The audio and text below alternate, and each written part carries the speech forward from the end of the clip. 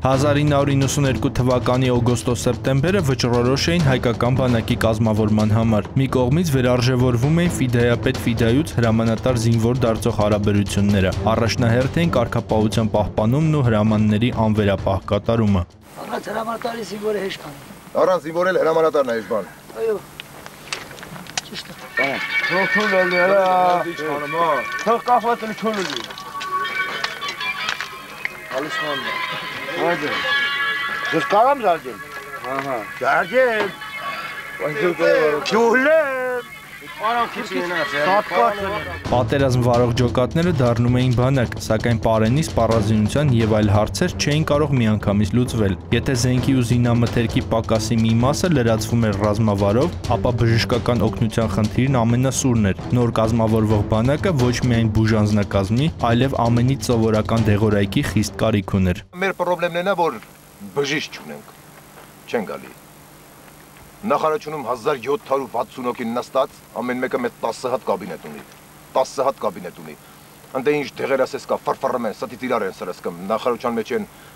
շարքային աշխատողներ են սաղորեն դե հիվանդանամ։ Դրանց են սրսկում, ստե չեն գալի, որ հատ բուժեն, իրոք բուժեն էլի։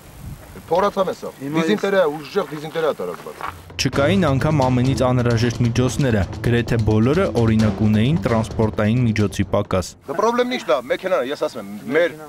Մեր բանը մեքենան է։ Ես նստում եմ, եկա տեխնիկան, շիլկեն վրան բարձած, շիլկեն վրան բարձած, ուռալի։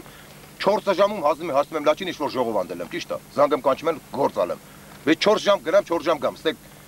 ո՞նց գալիս են։ Այդ եկա տեխնիկան, որ սամալոտ խփելու մարա հատուկ։ Ես էսի տանում եմ, բերում եմ։ Կարողանց այդ մոմենտի սամալյոտը դուրս գալի։ Ես ինչ անեմ, ասեք։ Առաջին տպավորությունն այն էր, որ մեղավորը միջոցները ոչ ճիշտ բաշխողն է եւ մեղադրանքի սլակներն ուղղվում էին նախարարության դեմ։ Հենց նախարարությունում, նախարարությունում հազարատ ավտո կա որ մեկի տեղակալը, տեղակալի տեղակալը, տեղակալի շոֆերի տեղակալը, շոֆերին էլ տեղակալ կա։ Լրիվ նստած ֆրֆռում են։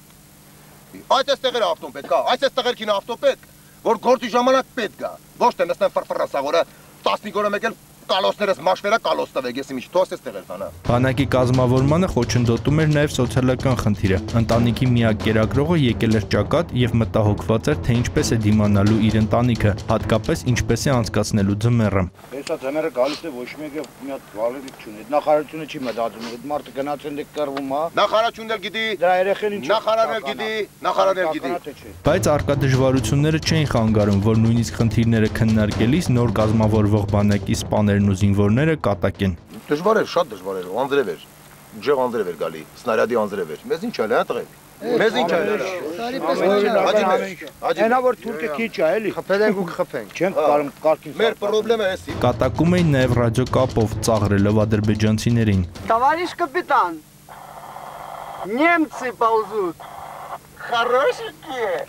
Так себе. Тогда огонь, огонь. На прошлой атаке ко мне один турок так и лезет, так и лезет. А я ему ромашкой по-каски, по-каски. Он меня победил. Он меня победил, два Նամակերս բաճել է։ Հակառակ անտանելի պայմաններին եւ հրամանատարները եւ զինվորները կարողացան պահպանել հաղթանակի ոգին եւ չեզոքացնել ադրբեջանական վտանգը։ Գևոր Կեմինտերյան, Սուրանկյուն։